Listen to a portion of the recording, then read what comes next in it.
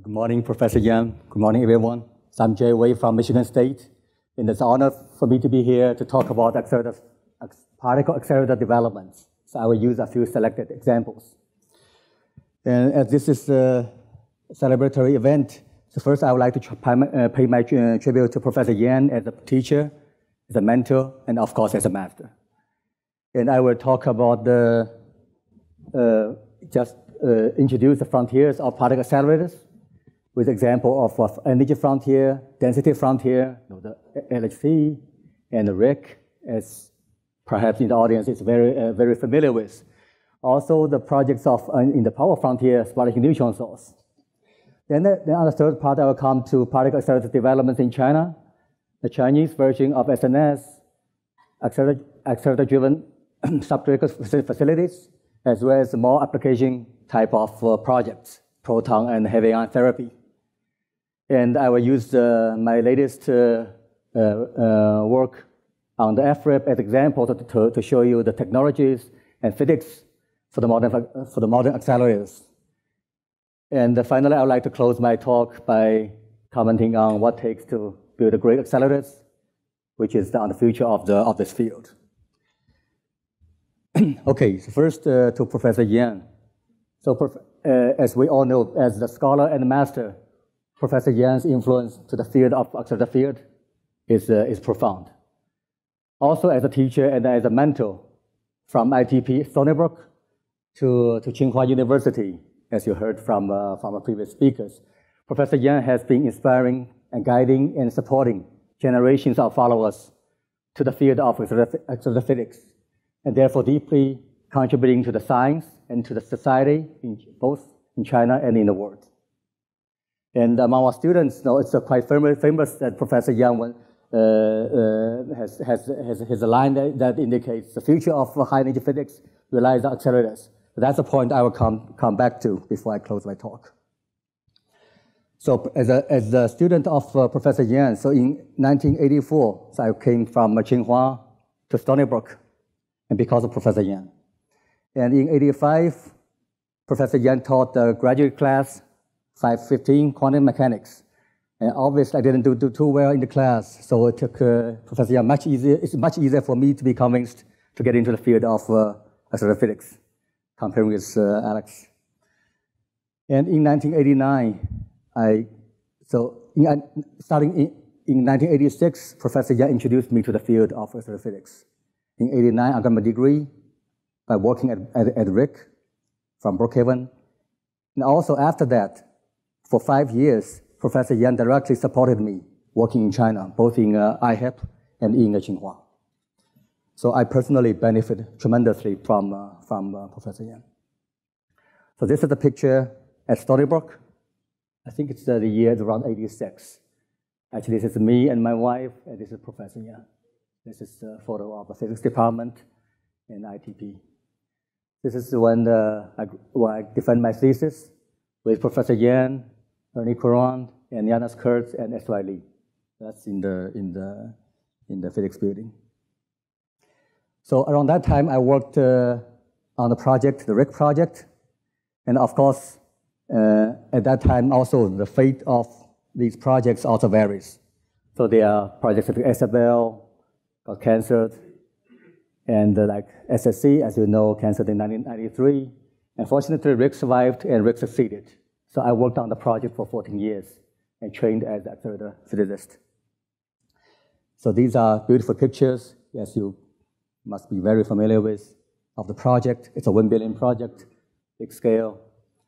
And this is, uh, this is a bird's view of the, of the facility where the ions are produced in the tandem, transferred to booster, to the AGS, and then injected into the two counter, uh, counter, uh, counter uh, intersecting uh, rings and collide at six, six points for experiments. So this is a picture of the RHIC tunnel. That's before the super, superconducting magnets are actually welded and, uh, and completely, te completely tested. Okay, so that's the first project I worked on. And later I learned that the, it's, uh, it's more, more than just colliders. There are various frontiers of the field. So I try to classify into five frontiers. First, as you know, is the energy frontier, and the, uh, the, which is represented by the Large LHC, Large Hadron Collider. The density frontier, the RHIC, precision frontier, as you have heard from Alex, the light sources, both LINAC-based and ring-based. And also intensity or power frontier, spallation neutron sources and ADS projects, as well as the industrial application frontier, for example, like proton and heavy ion therapies, as well as, for example, like cargo inspection facilities developed by Tsinghua. So I will try to touch a little bit on each of those. So of course, this is a bird's view of the Geneva area, indicating, indicating the, the, the clusters of rings uh, uh, leading to LHC. So, so PS, SPS, and LHC. It's a ring of 27 kilometer uh, circumference.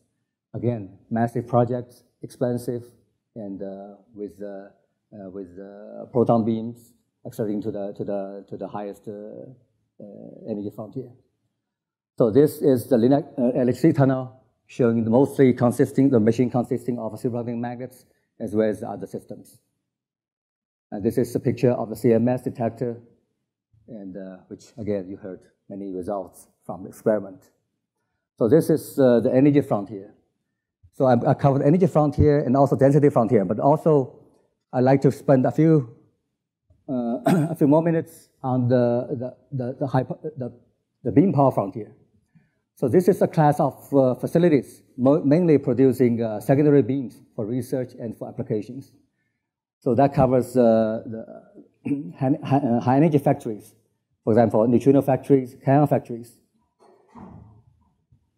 So that's added at the energy region of from 1 to 400 GeV proton beam.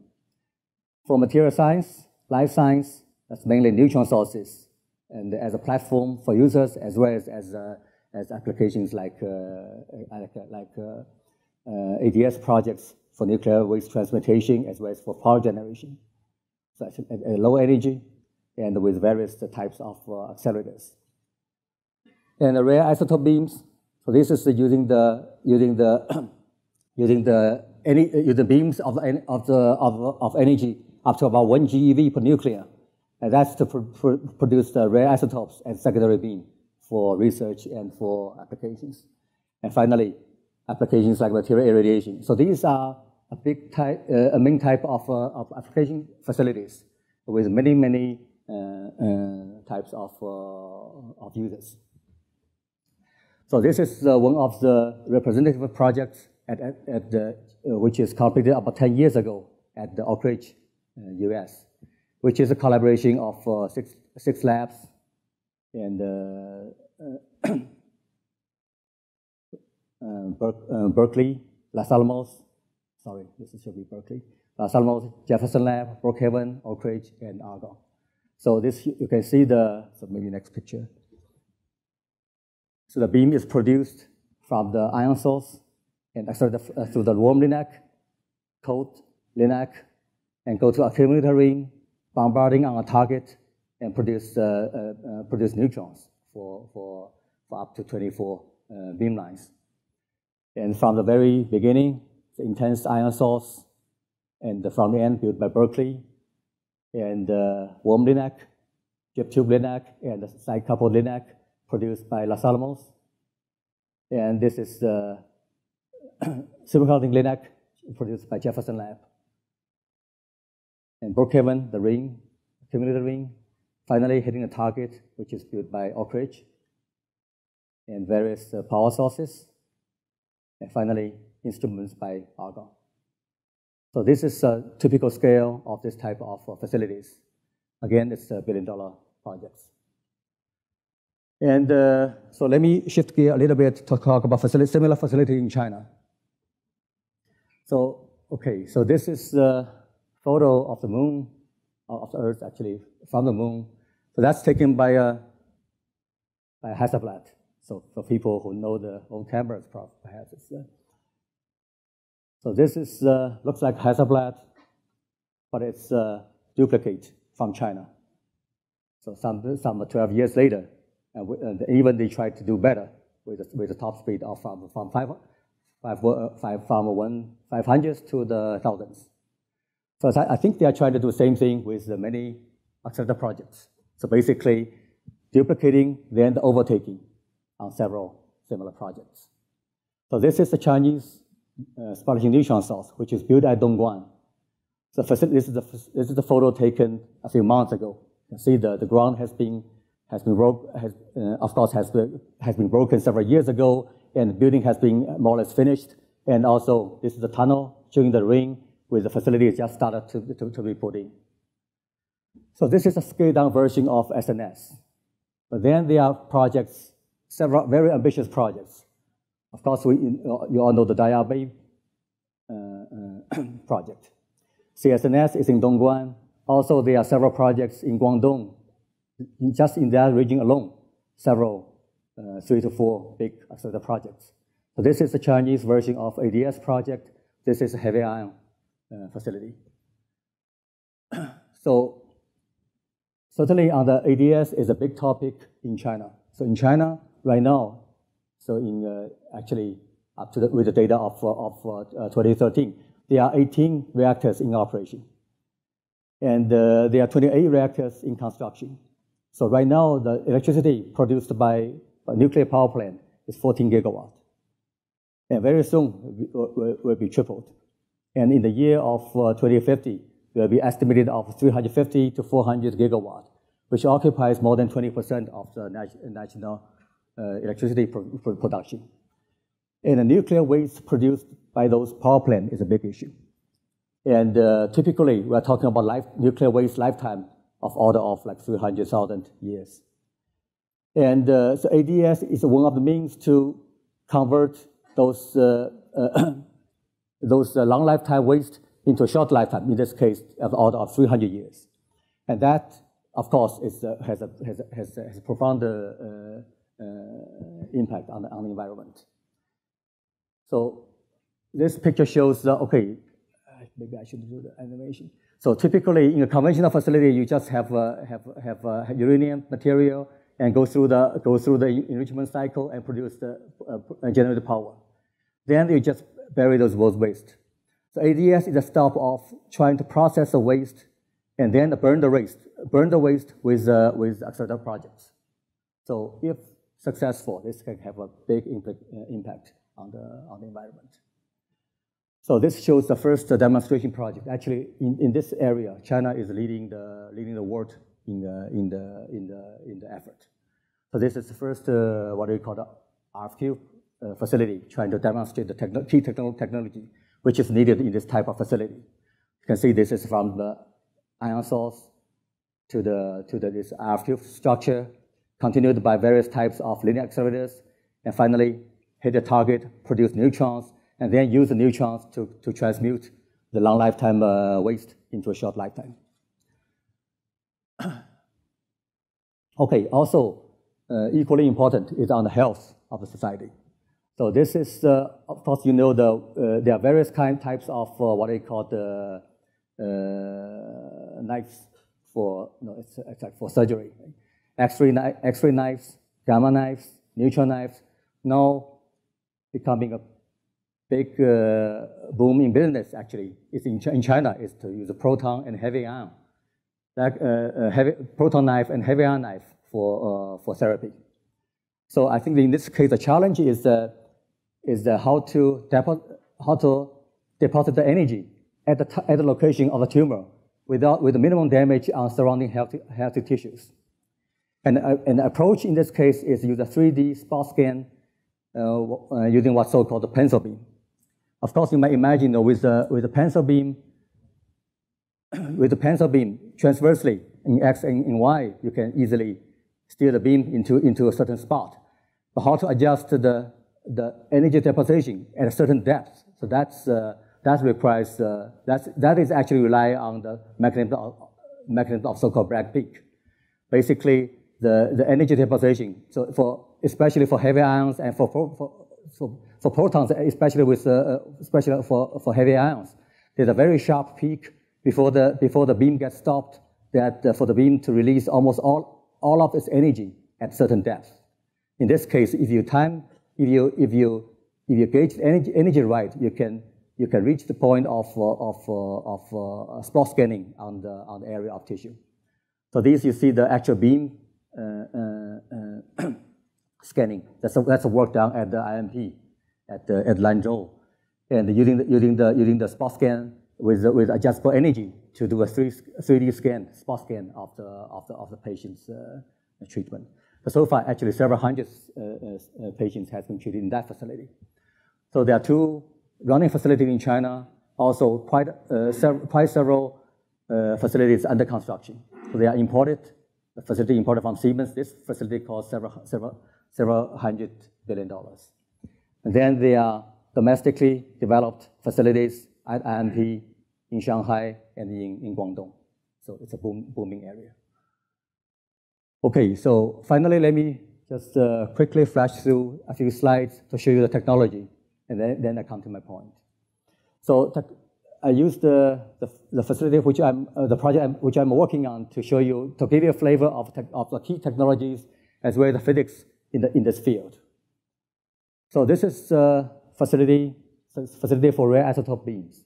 So it's a billion dollar project from, funded by US DOE, cost shared by MSU, Michigan State and serving a user of about 1,400 users in the, in the, uh, in the nuclear physics community. So this facility accelerates beams from proton to uranium, so basically all, all stable ions, up to a very high beam power, 400 kilowatts, quite high beam power. And uh, with, energy, with, with a modest energy of about uh, from 200 to, to, to 400 MeV, MeV per nucleon and that is to produce the uh, various types of secondary, secondary beam, uh, rare isotopes and secondary beam, and uh, for, for research as well as for applications. You see the, this is the this is a cross-section of the accelerator facility with the beam produced from the, from the floor level and uh, still down 10 meters, uh, 10 meters down because uh, for the radiation shielding and several turns and hitting a target then with the, with the fragment separator, separate the secondary beam and for, for and supporting the, the existing uh, user, uh, user facility. So just for the next 10 slides, I just flash you the title of the, of the talk. So first, we need a big ion source, intense ion source to start. That's, that's, that's a place to start with. Secondary structures, massive secondary structures, both for focusing and for acceleration, what they call the radio frequency quadrupoles. And because it's a very high power, very, uh, uh, uh, very intense uh, uh, beam, so it's much, much more beneficial to use the superconducting uh, cavities for acceleration. The next big te technology, which also, which also is most, most, cost, co most costly, is the superconducting radio frequency systems. So these are what we call cryo modules. These are about eight meters long, contains uh, uh, multiple cavities for acceleration as well as for uh, magnets for steering. So these cavities typically runs at, at 2K for, high, for highest possible gradient, highest achievable gradient. And supporting that as a, as a cryogenics, because of the, the scale of the facility, cryogenics by itself becomes, uh, becomes uh, a science in, the, in, this case. So integrated cryogenics supporting the uh, uh, superconducting RF facilities. Then the typically trivial issue, trivial problems like uh, just stripping the uh, stripping the the ions to, high charge state become non-trivial in this case because a simple carbon foil, which is which is typically used for charge stripping, in this case won't be able to sustain the beam power. So in, this case, the stripped, stripped ions actually when used uh, a, a, liquid, liquid lithium a fast-moving liquid lithium uh, as, the, as a means to strip the, charge. So in, the, in this case, the liquid means uh, it can quickly uh, dissipate the, the heat produced by the ion. So simple techniques, simple problems in this case become not become non-trivial. Loss, beam loss detection, machine protection, because the beam is so powerful that can easily damage the, the, the machine. Beam collimation and target. So target again becomes a big issue because the beam power is so big, uh, it's, it's, so, uh, so massive, it can easily damage the beam power. So in this case, people use the liquid target, use the rotating target, again, to, uh, to, to dissipate the heat, and for various types of applications, and so on and so forth. So also on the physics side, also uh, many, many subjects becomes, uh, becomes a hot topic in this field. So how to control the beam loss, how to, how to control the, the, the, the space charge. Basically, it's the Coulomb force uh, in, uh, inside the beam. How to, how to control the coupling impedance, which may cause instability in the beam. And electron cloud complications in the hydrogen beam, and so on and so forth. So, okay, so let me try to summarize my talk. So what takes to build a great accelerators? So obviously we need ideas. So, synchrotron, for example, synchrotron, that was invented in, uh, in 1944, followed by alternating, gradient synchrotron, followed by collider, then stochastic cooling. So these major events made possible the continuous uh, advancement of, uh, of energy frontier uh, as a function of, uh, of, uh, of year. But idea, certainly ideas itself must be supported by technology. So as, you, as I showed you, technology is a key component of this, uh, of this area. And what's most challenging, in my opinion, is uh, great ideas that can be realized by cutting edge technology. And that's a part which, uh, which uh, we haven't done enough. So Professor Yang indicated to us future of high energy physics relies on accelerators. So how are we doing so in, in this area? So I guess not too well. So there, there not, not much really have, not much new concept happened since the stochastic cooling in this area. There are many, many great ideas, but they have, haven't been really confirmed by, by, by, by the experiments and, and supported by technology. And we must not lose the will to proceed. And fortunately, this area is also goes beyond energy frontier, frontier and, and this area is really flourishing. That keeps the field very active and uh, keep us busy. Thank you.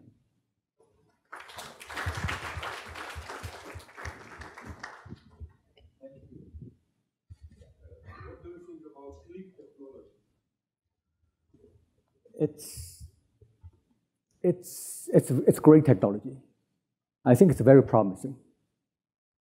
The, again, the, the common problem is that this type of facility is so expensive. So of course, there are many people working on more advanced concepts. Unfortunately, that's not mature enough to support a real facility. So that's a difficulty, in my opinion, in this area, in this frontier.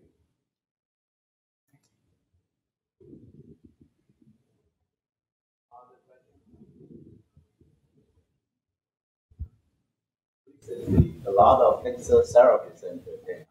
Yes. You think they will attract a lot of research physicists go to the, you know, cancer therapy center? It should. Certainly, so this type of facility actually requires uh, a team to, to make sure they can operate properly. It's not basic, it's, it's very difficult to run a turnkey system. I think people start to come to a realization, you know, they need, a, they need people to really make sure this type of facility works. So it is with it is. So on the question, I think we will close this morning session.